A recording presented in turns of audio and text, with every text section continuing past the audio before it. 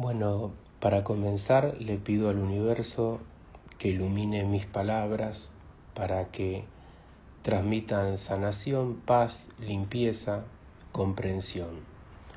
Quien requiera de mis servicios en YouTube, en Evox, puede encontrar mi WhatsApp de contacto. Hoy voy a hablar de ataques psíquicos del bajo astral. Em, ¿Cómo sucede esto que una persona es víctima de ataques psíquicos? ¿Qué son los ataques psíquicos? Esto pasa por muchos motivos. Por ejemplo, al tomar contacto con magias, rituales y brujos. Las magias, los rituales y los brujos conectados con energías de baja vibración. Eh, brujos con larvas energéticas, brujos que tienen pegadas entidades, rituales que, que te conectan con el bajo astral. Y quizá tú no sabes, porque quizá tú dices, bueno, a ver, este brujo propone hacer un ritual de amor pactado con la Santa Muerte, por ejemplo, ¿no? Y la Santa Muerte es una entidad poderosa, pero de muy baja vibración según mi punto de vista, en, donde tú al hacer un ritual estás abriendo las puertas a entidades, en este caso la, Santa Muerte, y también a larvas energéticas o, parásitos energéticos, le, le, digo yo, se pueden presentar, como se abre un portal, pueden aparecer del, del bajo astral manifestaciones, como puede ser la presencia de, enanos deformes, o sea, eh, esto, esto, puede ocurrir de la siguiente manera, esto lo digo porque he tenido gente que ha tenido este problema, despertar en el medio de la noche, tener una parálisis de sueño, no poder moverse, abrir los ojos y sentir una presión en el pecho, y ver uno de estos enanos deformes que es una manifestación de, de, pequeños entes del bajo astral sobre el pecho de la persona haciendo presión. Esta situación es terrorífica. Es terrorífica porque la persona después al otro día no, quiere, no puede dormir, no quiere irse a dormir, tiene miedo que vuelvan a aparecer estas presencias. Por supuesto, no es lo mismo una de estas presencias de enanos deformes sobre el pecho de uno eh, que una entidad, que, es algo mucho más poderoso como la Santa Muerte, eh, son, son cosas que, digamos, tienen distintos niveles de intensidad energética. Y lógicamente que tener pegado un muerto o una entidad poderosa como San Simón o la Santa Muerte, bueno, puede ser un problema un poco más fuerte que simplemente eh, la presencia de una de estas manifestaciones en forma de, de, un, de un enano deforme que eso, que eso es muy común, que se asocia con los sucubos y con los incubos. Pero bueno, eso lo voy a abordar un poquito más adelante. Entonces tú, volviendo a la conversación que, con la que empecé, tú te acercas a un brujo, pero quizá no conoces toda la realidad del brujo. Quizá ese brujo, si está trabajando amarres, la magia negra, con determinadas entidades y seres del bajo astral, por ejemplo, ese brujo no tiene la mejor energía. Y justamente los brujos que hacen amarres tienen esas características. No hay brujo que haga amarre que sea una persona sabia, equilibrada, con buena energía y no conectado con el bajo astral o con esas energías de baja vibración, porque en sí los amarres son eso, son trabajos donde se mueve energía que no vibra alto, vibra bajo. En el mundo de la magia, muchos brujos dicen, no hay magia blanca, ni negra, ni roja, ni verde. La magia es magia. Ok, la magia es magia. Pero la magia tiene distinta vibración. Cuanto más alta la vibración, más se acerca al amor. Cuanto más baja la vibración, más se acerca al ego, al oscuro, a la ignorancia. Em, entonces los amarres no se acercan al amor. La gente los contrata convencida de que accede a un trabajo de amor puro, sano y que va a emitir amor hacia la otra persona y luego resulta que no es así.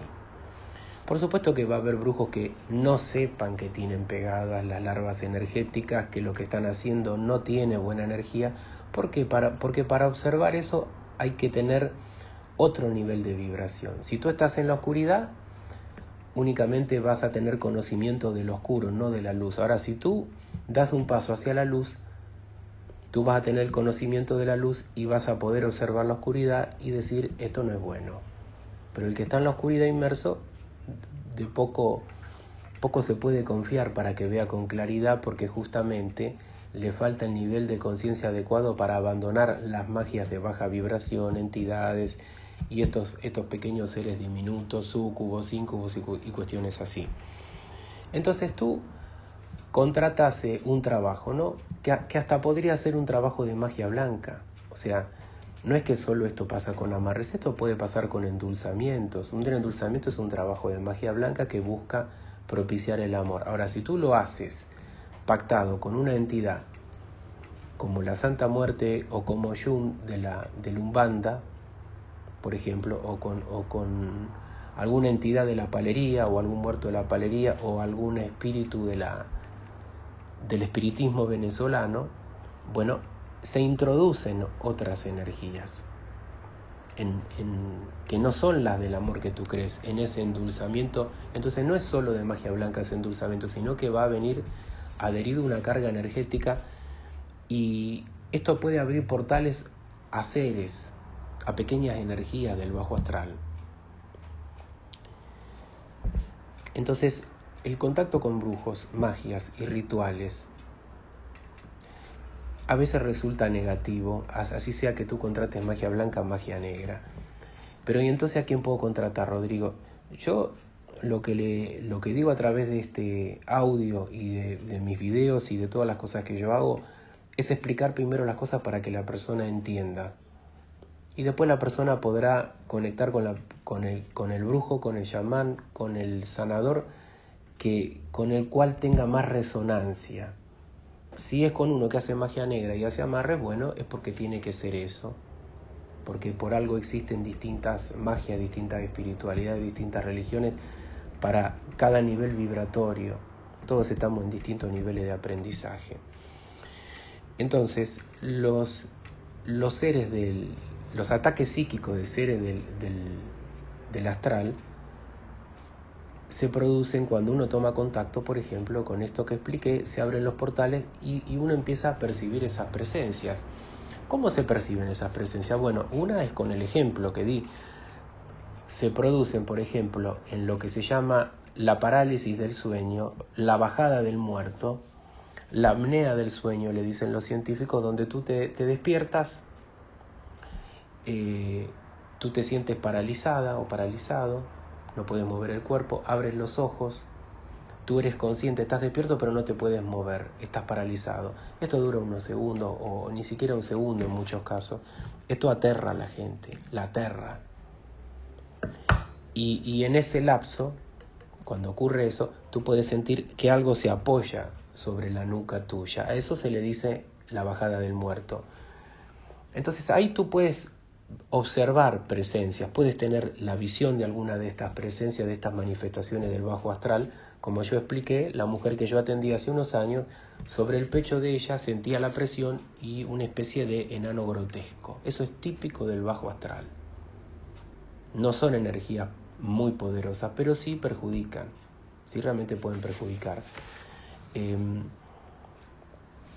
o sea que la, la apnea del sueño o, esta parálisis del sueño puede estar muy conectada también a, esa apertura de portales, a ataques psíquicos, dolor de cabeza, eh, desgaste emocional, pérdida de energía. O sea, hay infinidad de síntomas posibles cuando uno es víctima de un ataque psíquico astral, pero se hace muy evidente cuando uno observa eh, a estas eh, pequeñas entidades o estas manifestaciones. Em, los sucubos y los incubos son, son, antes se les decía como demonios masculinos y femeninos que se, se presentaban o se manifestaban apoyados sobre el pecho, generando alguna presión sobre el pecho, como en este ejemplo que conté, em, sobre la persona mientras dormía. Hay muchas imágenes que recrean la situación. Las personas sufrían, sufrían algún tipo de situación o de abuso sexual. Eh, hay una película muy interesante de la década del 80 que se llama La entidad o el ente, en donde una mujer sufría este tipo de ataques sexuales de parte de una entidad. Bueno, cuando hay sucubos e incubos, hombres y mujeres pueden sufrir este tipo de situación. Entiendo que a mucha gente esto le puede parecer una locura, pero yo he hablado con muchas mujeres que han sentido eh, penetración, eh, toqueteo, eh, como situaciones de abuso y sin embargo no hay nadie en el cuarto. ¿Y qué puede ser, Rodrigo? Porque yo además intuí, estuve, no sé, jugando a la Ouija dos días antes y intuí que esa misma noche que, que algo estaba mal. No podía determinar que, bueno, esta es una posibilidad. Por supuesto que también habrá argumentos científicos que expliquen la parálisis del sueño, esta apnea del sueño. Cuando uno despierta, uno abre los ojos, se vuelve consciente, pero a veces el cuerpo tarda una fracción de segundo en despertar y eso produce la parálisis. Hay un común desfasaje, no está en sincronía el cuerpo con el despertar, de, digamos, de la conciencia de la mente. Más o menos esta la explicación, es un fenómeno químico, es más o menos esta la explicación científica, pero viene asociado a, sensaciones, a presencias que uno puede sentir, que puede ver, que puede escuchar. Ahora, em, estos ataques psíquicos, por supuesto que también se producen cuando uno tiene cierta sensibilidad a todo lo espiritual, lo esotérico, lo mágico, y además uno está desbalanceado. O sea, siempre que hay ataques psíquicos, hay generalmente un desbalance. Siempre no, pero generalmente sí. Hay un gran desbalance emocional en la víctima. Entonces, eh, este desbalance emocional más atrae a, por ejemplo, larvas energéticas, que, digamos, porque todas las entidades, todos los, todas estas manifestaciones se alimentan de energía, en este caso de energía emocional. Entonces, por eso esa energía emocional que, que, tú vas perdiendo, que tú no vas teniendo, que te sientes desgastado, que se sientes desgastada, eh, te la van a robar estos eh, pequeños seres. Sé que esto le puede parecer muy increíble a mucha gente. Muy, pero muy increíble. Eh, por supuesto que hay gente escéptica que no cree en nada y dice, bueno, yo no creo en nada. O sea, gente que es víctima de ataque psíquico pero no cree en nada. Entonces, esa programación de no creer en nada a veces ayuda a que a la persona, eh, dentro de todo, se, le, se forme como una coraza protectora. Porque a veces la ignorancia genera eso. El problema es que la persona que no cree en nada y que es víctima de ataques psíquicos cree que lo único que existe en el mundo o, las cosas son de tal manera que, se explican solamente de la forma que las entiende la persona y no funciona así la vida. Pero reconozco que a veces hay personas que no creen en nada y que ese no creer evita que la persona se sugestione, le da como cierto poder. Se, se genera una protección la persona. Em, también otras formas de, abrir estos portales del bajo astral o que se nos peguen eh, estas eh, manifestaciones es si somos víctimas de brujería, si hay otro que, que nos quiere, digamos, eh, trabajar y, y, utiliza a veces supuestas magias de amor para, para hacernos un bien, porque la persona dice que nos ama y en realidad, por ejemplo, los síntomas del amarre, que eso, eso pega, eh, larvas energéticas, te, te, atrae mala vibra, los síntomas que tú vas a padecer si eres víctima de amarre tienen que ver con pesadillas, pérdida de energía, se te pegan larvas, eh, eh, tú estás intranquilo, no entiendes por qué, problema para alimentarte, dolor de, de, cuerpo, dolor raro que no está asociado a ninguna enfermedad, pérdida de energía, o sea, hay un montón de posibilidades. Por eso digo que las personas a las cuales, a las cuales se las amarra con un ritual, en vez de sentirse bien y radiantes, se sienten horrible. Se sienten eh, ansiosas, desesperadas, desequilibradas emocionalmente, sin energía. Eso no puede tener nunca nada que ver con el amor. Si alguien te hace algo así, por más que diga que te está eh, queriendo, digamos, reconquistar, lo que está haciendo es em, eh, abrirte portales, enviarte una energía que no es buena.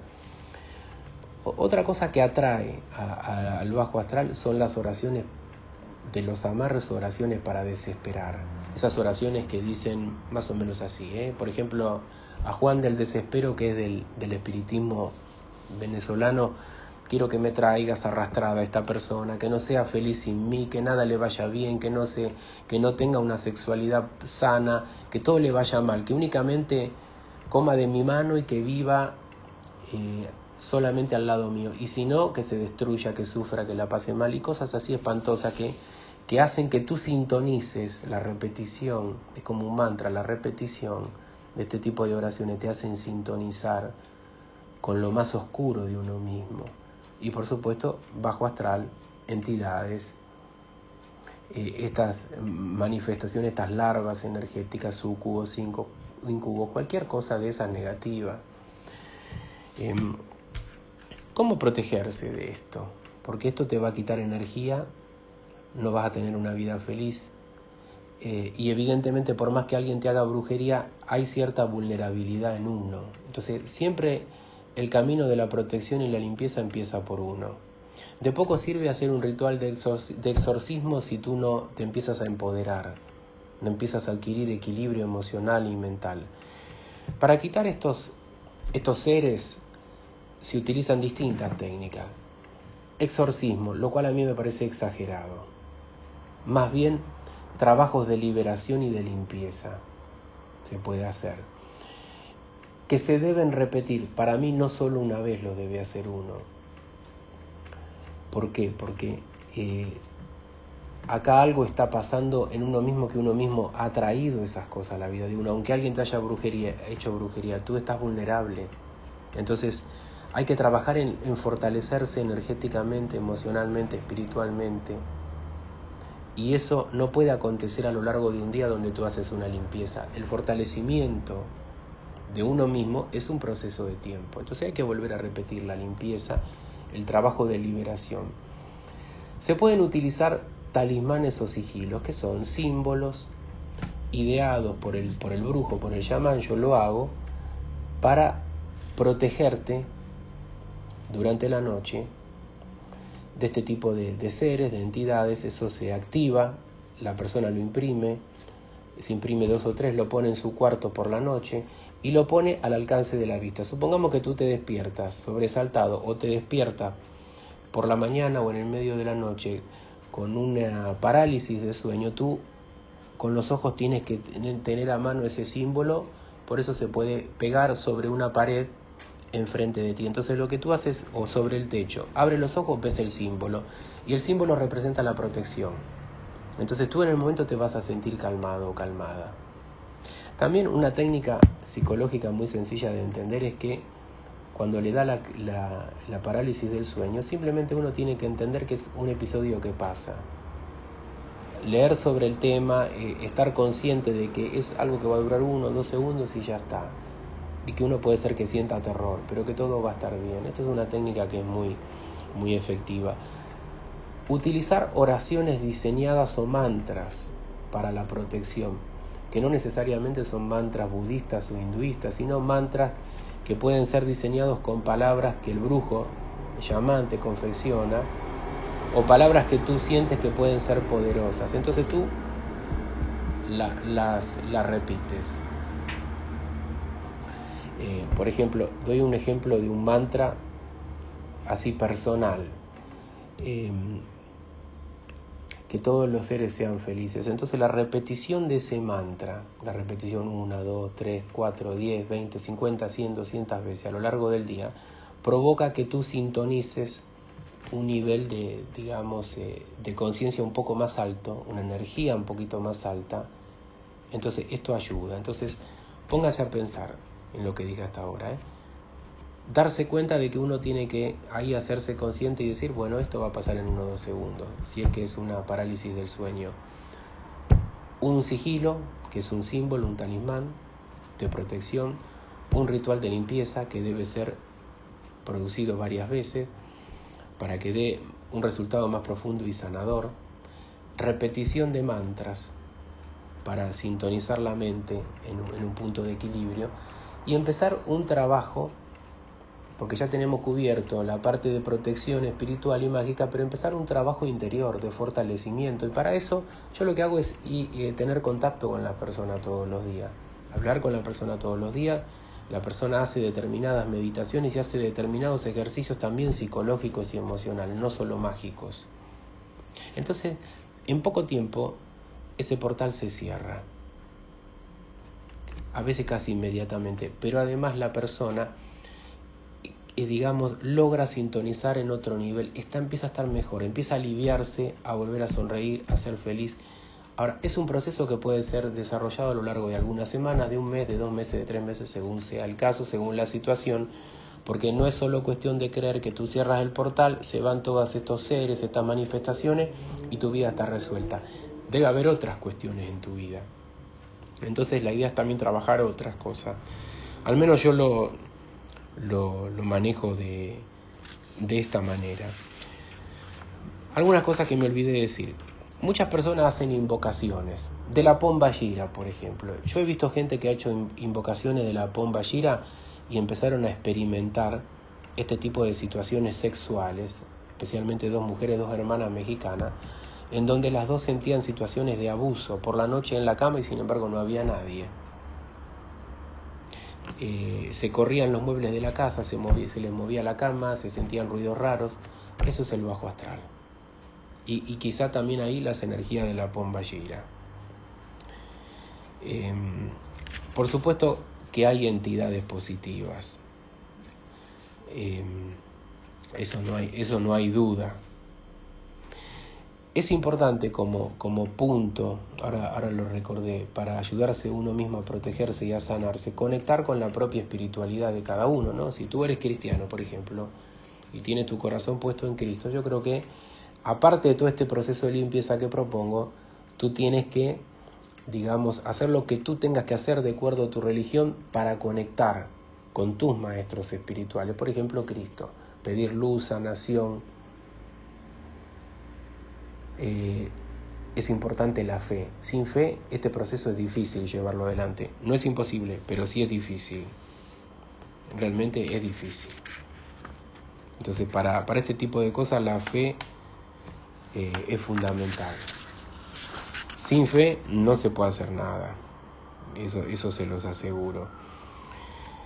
Em, las larvas energéticas se dice que producen vicios, pensamientos oscuros, eh, desarmonía sexual, que la persona busque situaciones sexuales eh, estrambóticas, extrañas, eh, locas, que no le hacen bien. O sea, la persona tiene una conducta desordenada, pero para que esto pase es que la persona estaba mal.